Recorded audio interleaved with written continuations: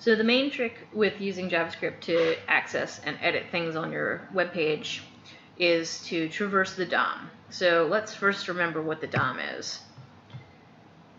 Okay, so DOM is short for Document Object Model. So basically, when you um, when you code up an HTML page, and the browser opens that up, it makes a map of all the elements, and it kind of looks like a tree. Um, and each of the elements becomes a node of the tree. So if we take a sample page like this, um, our top node, our root, is HTML because that's the most outer element of the entire thing. And then our head section um, is our first branch over here, and there's the tags that the head contains title and style, which you can see over here, title and style. Um, and then on the other branch from HTML is our body, or the stuff that we can see on the page. In this particular example, there's an H1 and a P, so here's my nodes H1 and P. And then connected to each of these elements is the actual contents that it contains. So my title is the DOM, my style has an H1 rule, H1 says the page, and my P says hello world. So if I can ask JavaScript to grab one of these elements from the DOM, then I can ask it to change what the contents are. I can have it change the color. I can have it change the styling. I can add new information into it, uh, etc. But all I have to be able to do is use the document object model to grab one of these elements. So let's see how you do that. Okay. So step one, is find the DOM node that you want and store it in a variable. And step two is use um, one of various methods that already exist in JavaScript to edit and change the node. Um, so the first overall one that you can do is to grab basically the entire document. Um, and so instead of writing to the console, which you have to open up the, the developer tools and everything to see what's writing there, you can actually have it write stuff directly onto the page you just have to be aware that when you use this method, it cuts out anything that was already on the page that was rendered. So it's really only for testing out your code to see if you're getting what you think you're getting. But here's kind of what it looks like. Um, the access to the overall document node is the word document, and then the method is dot write. And inside here, you can put whatever you want. It can be text. It can have tags. Um, you can have tags that then include an image, and that stuff will appear on the page. Um, but again, this will overwrite anything that's already been rendered on the page. Okay. Um, that's nice for debugging and trying to figure out what's going on, but really we want to be able to access individual nodes so you can change particular elements on the page. So let's look at some different ways you can find the nodes. Okay. Um, and so the first thing um, we need to remember actually is the difference between an ID and a class. So please remember that an ID um, indicates that there's only one element on the page that has that ID. Um, you won't find more than one thing marked with the same ID. And class um, gives you a lot of the same control, but more than one element on the page can have the same class. And so we'll remember in CSS, IDs are marked with hashtags, and in uh, CSS, classes are marked with dots to specify we have an ID or a class. Okay, so with that in mind, one of the first things we can do to find a node is if it has an ID, we can look for that particular ID. So here's kind of what it looks like. Um, we always start with the word document. That means grab at the root and then find this thing. So here's the command. It's get element by ID. The capitalization is very important, so please make sure you notice which things are capitalized. And then inside the parentheses, you put the ID that you want to search for. Okay, so here's my example based on this little segment of HTML up here. I only have one thing on the page that has an ID. My ID is example. So when I do this, I'll set a variable. I'm going to call it xtext and set that equal to document.getElement by ID example. And that will grab this node right here. And then I can mess with the contents of that node. Okay, so that's finding a node by ID. Um, I can also find a node by tag name. So here's the general way that this looks. Document.getElements by tag name, tag name. Um, you'll notice here the big difference is the word elements instead of element because for most tags on a web page there's probably going to be more than one of them. Um, so this gives you a little hint. This is going to give you back a list or an array of elements or nodes um, instead of just one. So here's my example. I've got an unordered list. It's got two list items on it.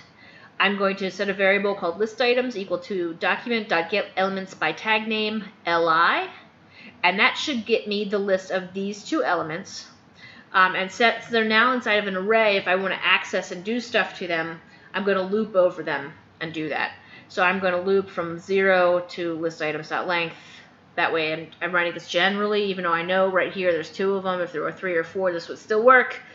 And then I can grab out the individual pieces. So var item equals list items i. That would grab this first one. The second time through the loop would grab this guy. And I can do something to that once I have a handle on it.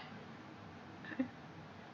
Um, my next option is to find a node by class name. So here um, it's going to look real similar. Again, it's document.get elements. Remember, note the S here because classes can repeat on the page by class name. And then in parentheses, I'll put the class name that I'm looking for. On my page here, I've got an H1 with class red, and I've also got a P with class red. So when I do this, I'll set my var red list equal to document.get elements by class name red. And again, because there's more than one of them, it's going to return an array. So now I'm going to have to iterate or loop through that list to do whatever to the individual nodes. Okay, so again, just to, to highlight this fact, if a method starts with get element, that means it's going to give you back a single node that you can then operate on directly. If a method name starts with get elements, that means there's more than one of them. Even if there actually is just one on the page, it's still going to store that in an array. So you're going to have to operate through the list to get to the individual pieces. So again, even if really you know there's only one thing on the page with a class called red, um, it's still going to put that one item into an array because this is how this generally works. Okay. So once you've got one of these things, you can change basically any attribute of it. So you found the node, and to get to the attribute, you use a dot notation. So what do I mean by that? Well, once you've got it stored in a variable, so this is my variable name, I say dot, and then I'll put the name of an attribute, and then equals new value. So if we think of different attributes, here uh, in my example is an img tag, its attributes that we're seeing are ID and source. Well, it might be interesting to change the picture. So let's store var and set it equal to document.get element by ID pic, because this guy has an ID of pic. And let's change the source property. So here I've got my variable, so I'll say pic.src equals kittens.jpg. So now instead of having puppies.jpg as the source, it has kittens.jpg as the source, and that would swap out the picture on the page. Okay. When I'm thinking of attributes that I might commonly want to change for images, a lot of time it's going to be src.